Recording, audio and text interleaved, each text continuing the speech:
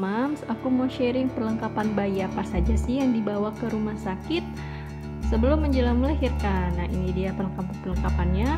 Sebelum itu jangan lupa ya di like and subscribe. Oke, Mams, perlengkapan yang pertama yaitu tas. Nah, tas ini boleh tas apa aja. Nah, ini tas yang waktu kami bawa pada saat uh, perlengkapan bayinya ke rumah sakit. Nah, tas ini.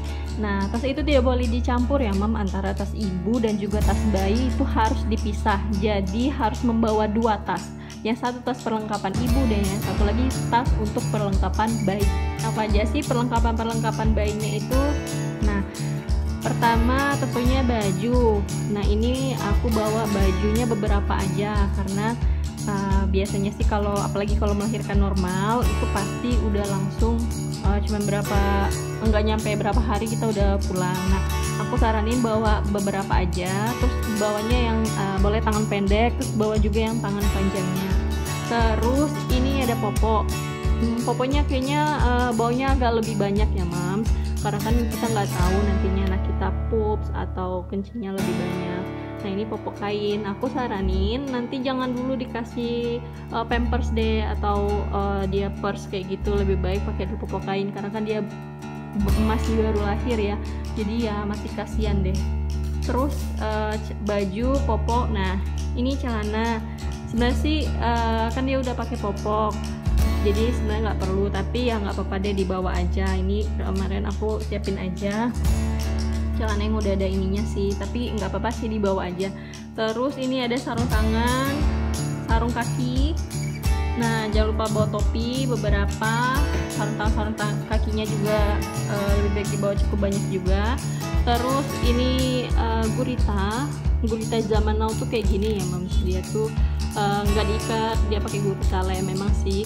Uh, kalau dari pihak rumah sakit itu tidak menyarankan lagi untuk bayi menggunakan gurita tapi uh, memang sebagian uh, dari pihak keluarga pada saat itu aku uh, bayinya tetap disuruh pakai gurita. Jadi aku siasatin aja aku pakai gurita yang lem saja. Nah kayak gini bawa aja beberapa. Terus bedong bedong juga bawa aja beberapa. Memang sih uh, beberapa rumah sakit itu udah menyiapkan bedong tapi aku tetap bawa uh, persiapan Nah, ini ada selimut sama handuk bayi. Memang nanti bayinya itu akan dimandikan oleh pihak rumah sakit, tapi nggak apa-apa kita uh, bawa aja buat pers uh, apa persiapan aja sih, dibawa aja. Terus ini uh, sapu tangan, sapu tangan bayi.